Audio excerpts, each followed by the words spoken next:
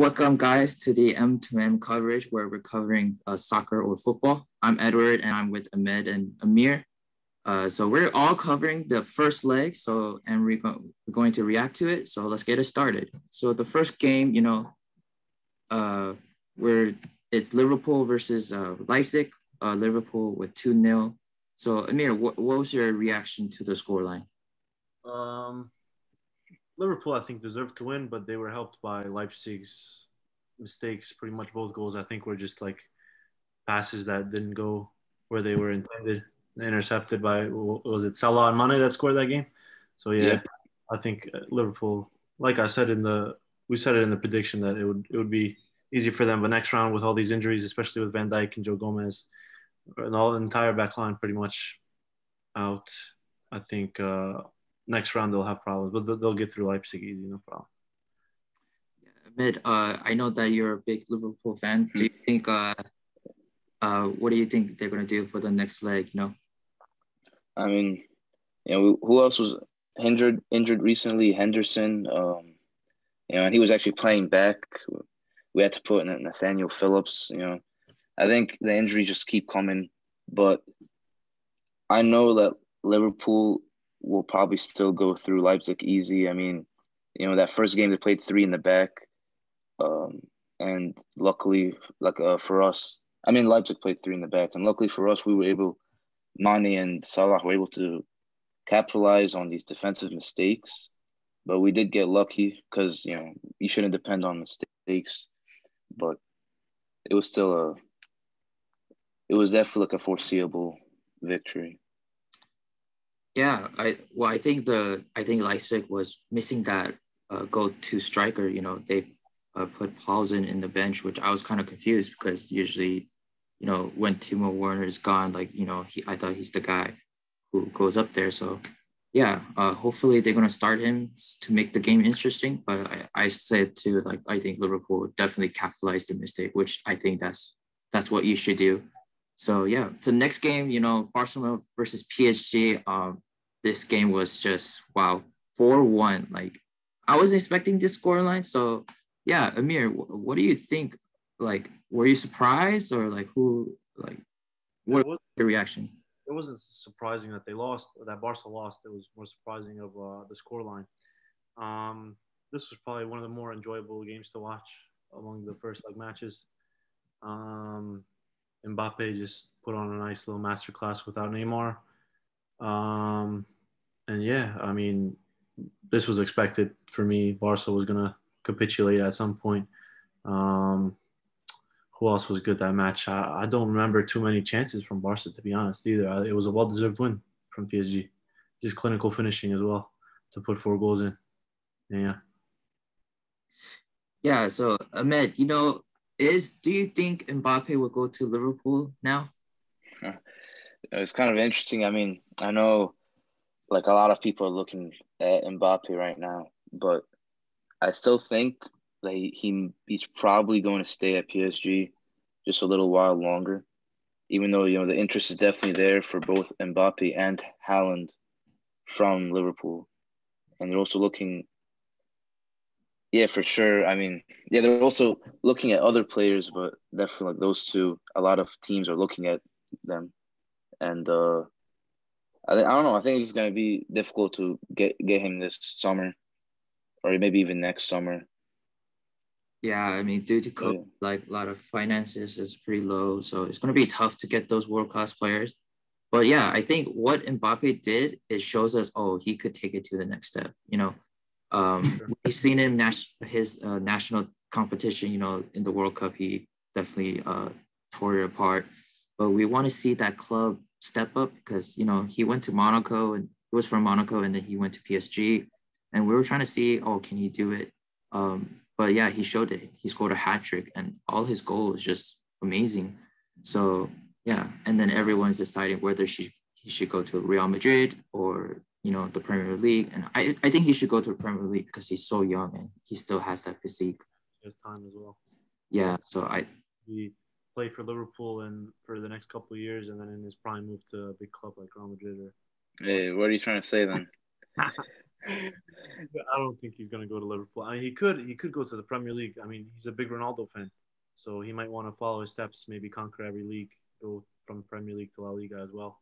Um, but I think he's going to spend until he reaches kind of like his prime between maybe 24, 25 when he hits 24. Uh, he'll probably just go straight to Real Madrid or something like that, and just yeah. I think if he, especially if he makes the final this year with PSG, which he definitely could, why not? Um, he, he'll he'll probably stay a year or two. Yeah, I mean Pochettino is that new manager who well, able yeah. to uh, get PSG back and going. I think this year we're waiting um, the passing of the torch to like Mbappe and Haaland. Yeah, speaking of, sure. you know, uh, the next game we're going to talk about is uh, Dortmund versus Seville. It was a pretty pretty close. It was two three. Um, you know, Seville was in the scoreline first, 1-0. It was a great goal from uh, Suso, and then you know Haaland just came in. So yeah, Amir, uh, where do you think like Haaland should go? Like if he has to leave? I think Haaland's probably going to leave Dortmund before Mbappe leaves um, PSG and um, I think I mean Barca could use him, but I don't know if he's gonna go to La Liga. I don't. I can't see he wouldn't go to Real Madrid because I think Mbappe's already handled that with Real Madrid, and um, I can see Haaland definitely going to the Premier League, most likely for City, Manchester City. Uh, his dad played there. He was a, a, a fan since a young age, so I I could definitely see him in uh, playing for Pep. Yes. so, uh, Ahmed, so the scoreline was pretty close. Do you think Dortmund could pull it off? I mean, this was one of the closer games that we highlighted in that, that first video. You know, it was ve- very close, just like as you know we predicted. But Haaland really came through with the two goals. Uh, really good finishes from all of them.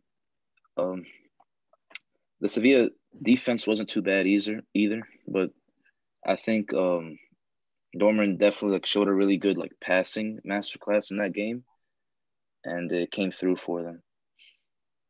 Yeah, you know, you better watch out for Sevilla because you know they're usually the Europa League giants, you know, and they're playing in the Champions League, so yeah. it'll be a very interesting game. Uh, hopefully, you know, and uh, one thing that kind of stuck out to me was um, when Haaland tweeted uh, saying like, oh, after I saw Mbappe scoring a hat trick, you know, I gotta put on a show, and he definitely put it up there. So yeah, I, I was that made me laugh. So it's maybe the next Messi versus Ronaldo rivalry. I don't know. I don't know if I should call it a rivalry, but we'll get there soon enough. But I'm very excited for the the football future. They're both tied for top score in the Champions League this year. Oh yeah, that'll be nice to see who ends up on top probably whoever gets the farthest, I think, will end up on top. So probably Mbappe. Ahmed, do you think it's Mbappe? Yeah, yeah. I, I mean, I don't know. I like them both very much. You know, they're both very entertaining to watch. So. I mean, Haaland has Haaland has like two years on Mbappe too. So. Yeah, yeah, that's true. I think you know, kind of like Messi, Ronaldo the kind of deal, where Messi was younger. Has, just a just as uh, same amount of goals in, in a lot less games than uh, Mbappe for overall Champions League. I think Mbappe has like 25 and something like I don't know I don't know how many games, but way more games. And uh, Haaland has like 18 and 13, I think something like that, something crazy. So yeah. Mm-hmm. Yeah, the next game we're going to talk about is uh, Porto versus Juventus. Uh, Porto just came out with a 2 1 victory, I think, but Juventus getting that key away goal. So I think that's going to be precious. But what I saw from Juventus was kind of struggling. So Amir, what was wrong with Juventus today or that game? I think Juventus is just bad, like as a whole, just completely terrible team. Um, Ronaldo didn't do enough to save them. Uh, Chiesa got the goal at the end uh, for the away goal. Um, Porto just played with like so much aggressiveness. Like they knew that all they had to do was just push them around a bit and they'll control the match like really that underdog mentality that Porto has, especially with Pepe in the back. You know, he's just crazy. He's just an animal. So he's gonna knock some people around and hope for the best. Yeah, Ahmed, uh, were you surprised that Porto was like defensive? You know, like Juventus, you know, they've been scoring a lot of goals in Serie A, but like, you know, were you surprised they only scored like one goal against Porto? I, I mean, like like uh, Amir said, you know, Ronaldo wasn't there to save them, and I'm pretty sure Amir also called this out in the last prediction video, where he said that Juventus is basically mostly Ronaldo, and they depend on him way too much, and that definitely showed, you know, against a strong Porto defense that game. You know, Pepe showed did some work. Um, I think Manafa had the assist, the right back. Um, so yeah, they really couldn't.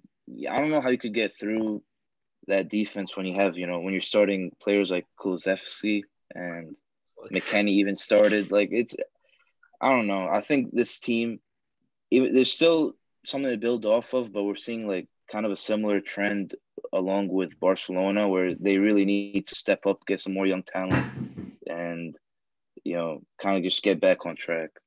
I think that that away the away goal was just enough for Ronaldo to give a little bit of a boost for them in the next leg. I think they could still pull it off for sure. Oh yeah, Ronaldo's gonna score a hat trick next game for sure. but, but you know, you can't always depend on that. If he doesn't do enough next game, you know Ronaldo's on the way out. Because this is Ronaldo's game right here. Yeah, so yeah, I definitely both agree with you guys. It's just Juventus is pretty much like depending on uh, Ronaldo too much. I mean, he's not that same like Real Madrid guy, you know. And I was surprised the lineup. Um, I could look at the lineup right uh right now. It was a weird lineup. Yeah, they didn't have like Arthur or like Morata or Dybala. Like I know Dybala's been struggling. Uh, I think one surprising thing uh that when Chiellini got subbed off, I think that's where like the defense just like totally dropped off. Um, but yeah, I was very surprised how like, and yeah, I mean Juventus in like literally the first minute making that first mistake, which you can't do that. Um, and good for Porto to capitalize it. Um, I think if Porto score one away goal, I think it's over. Yeah, I agree. So it's going to be a tough for Juventus, but hey, you know, if anyone could do it, Ronaldo can do it. So the next game, I think is this is the most competitive one is Atletico versus Chelsea, but Chelsea got that away goal, that fantastic Giroud beautiful goal, bicycle kick. You know, Amir, like, what do you think? That was the key goal for Chelsea, right? Yeah, that was a big goal. I mean, we knew this would be close. We mentioned it in our predictions video. We knew this would be a one of these kind of matches where they'll go back and forth. And um, I think this was probably the most boring uh, match of the first leg because it was so competitive. I think both teams were too scared to kind of commit to the attack uh, on the other side of getting countered and um, getting exposed in the back off of your attack. So I think they both kind of just sat back, maybe used the possession a little bit. Mid, uh, what is well, what went wrong with Atletico? Uh, I think you know. I mean, when you look at the stats, they didn't get enough chances. They didn't get well. That's because they didn't get enough possession, and I, I know that's the way you know Atletico is a defensive team. They like to play, but when you give a team like, even though Chelsea, they haven't been too good offensively this year. They're, they're still trying to figure themselves out. Um, that Giroud goal you know, that's a very Giroud goal, by the way, like that bicycle kick. And I don't, I don't know. I think any another day it would have been Atletico's game, like, but but Chelsea really, you know, they did their job this game. Yeah, I, like yeah, this game was pretty nail biter. I think Atletico was just not the Atletico we see in La Liga. Like they were really clinical because their shape and you know those key passes. Uh, and then, you know, you have Luis Suarez and Joao Felix in the, but I think Chelsea, like impressively, just were very solid in the back. You know, we were asking a lot of questions about their defense, but, you know, they didn't even have Thiago Silva. And so, like, I was very um, uh, impressed of their defense. Uh, but beside that, like, I hope Atletico can step it up um because I'm looking forward that. I'm looking forward to those games. but yeah, beside that, like not that many clear chances. I was worried more about Chelsea's offense actually. Yeah. I was worried more about Chelsea's offense versus a strong Atletico defense. That's probably the reason why they're top of their league right now. And Chelsea, you know, they've been iffy in the league, so I kind of expected the roles to be like reversed the way they played. You know. exactly, exactly. Hopefully, we can see the true uh, the. the I, I wanted to see more from Felix, bro. Like Joao, like I want him to be like up there with uh, Mbappe and Haaland and Yeah, Yeah, who's that third guy up there with them. Has yeah, be Well, you don't cost 100 mil plus for nothing, you know. yeah, yeah. That's true. And I, I, I think also, I think they kind of missed their key defenders too. I don't see uh Gimenez. Uh, I don't know. I think he's injured. Tierney, I mean not Tierney, um, Trippier. Trippier, yeah. I don't think Trippier was did he? Yeah. Yeah, Llorente as a right back is not as effective. I know he's been playing pretty well. Um, as a more as attacking player, I've seen him Yeah. like in the midfield, so it was kind of hard, you know, when you're missing those two starting uh, wide back, you know, you have. But yeah, the next game, it's Bayern. What do you expect? Bayern versus Lazio. It's like I think this game is already over one to four. I mean, Yeah, when you saw Amir, when you saw that little um little Galaxy score, like you're like, what was your like reaction? You like you knew that it was going to be game over, right? at all. It wasn't surprising at all. Not just that goal, but every goal, like every the domination from Bayern, just uh, so expected. Um, and I was gonna say, um, what was I gonna say? The, the, the all they're they're away. They're playing in Lazio, are they not? And they they played so dominant. It was like nothing from Lazio. And uh, what's it called? They could have put more in to be honest, I, I it was kind of four four goals is a bit low for Bayern in that game. They they were just so dominant. It was crazy. It was crazy.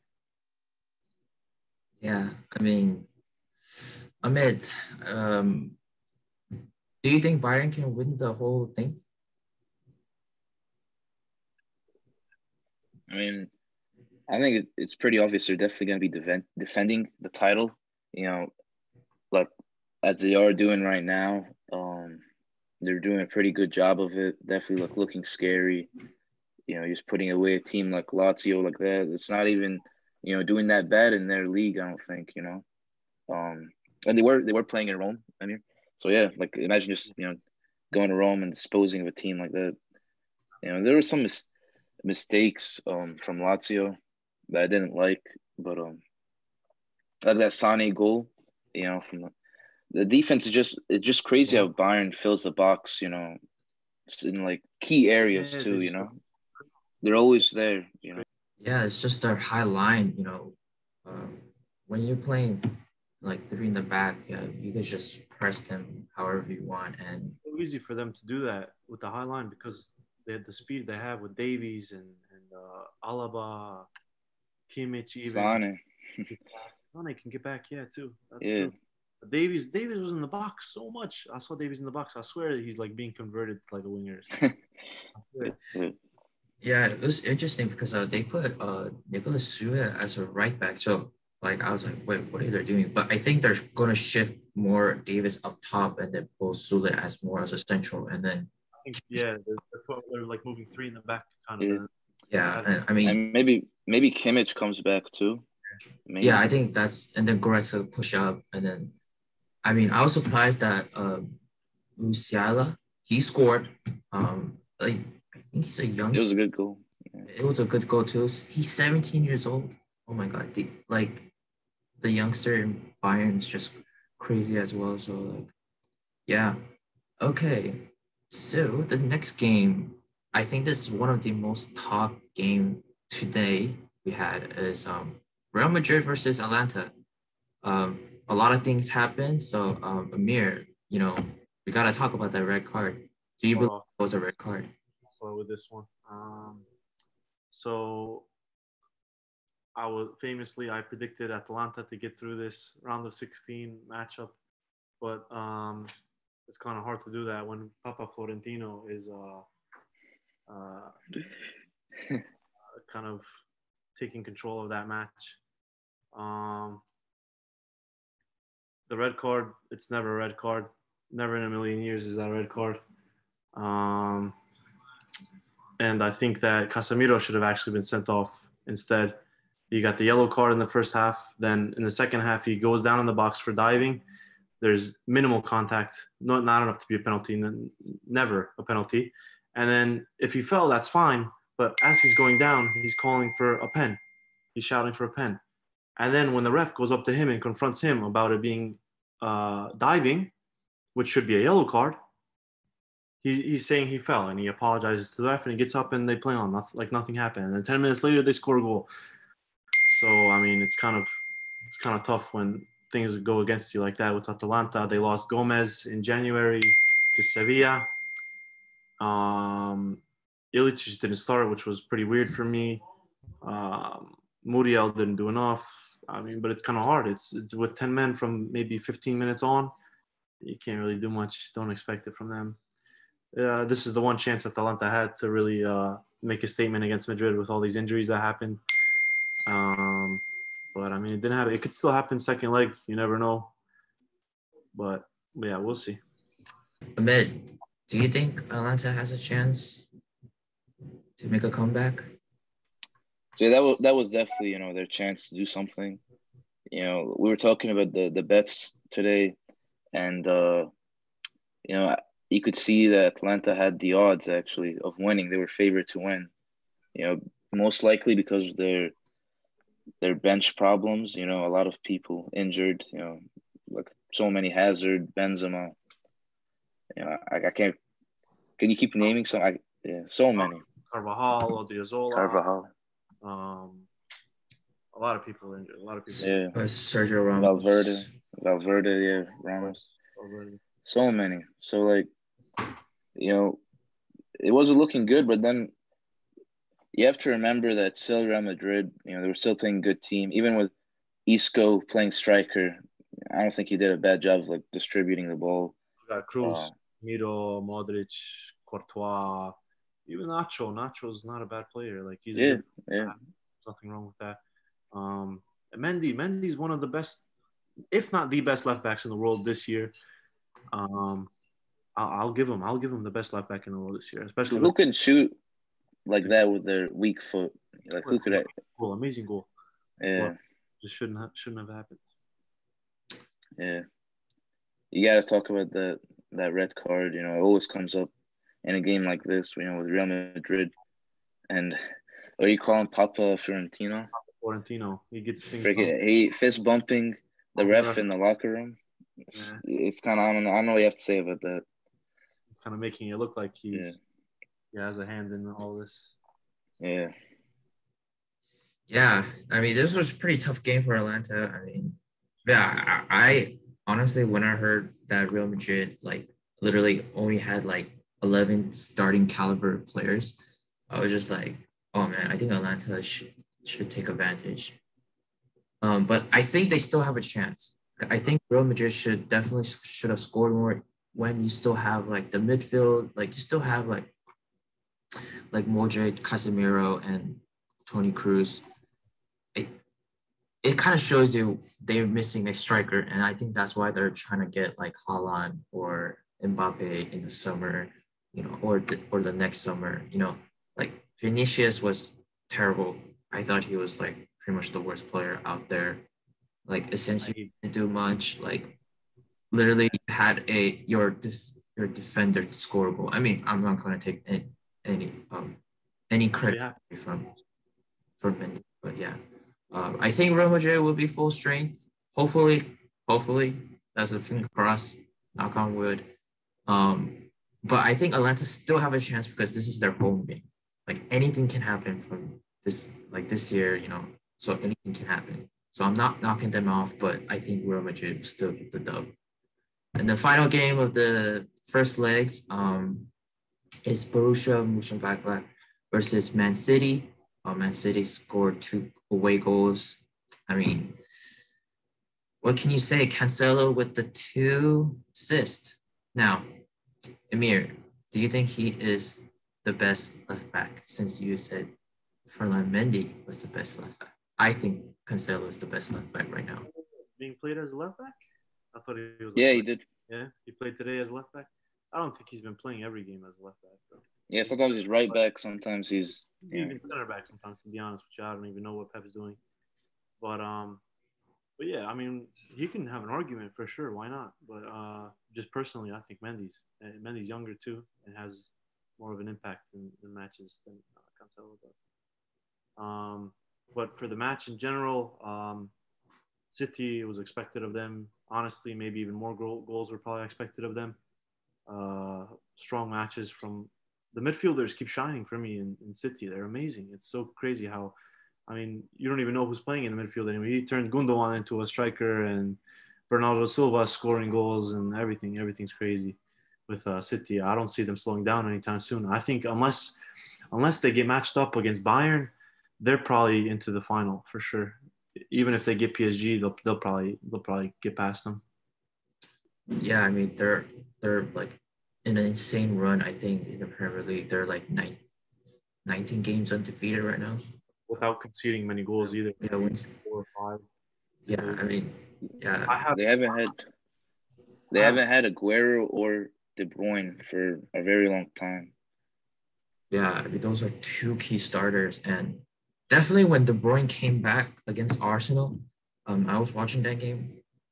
Like the Arsenal tactic was man to man on Gundogan and De Bruyne because they know they're going to switch it up. And it was really interesting. And I think that's how you stop them. And like, like the first two goal, like the first minute that Sterling scored, like that happens. Like the cross was magnificent for Mahrez. Like, what can you say that?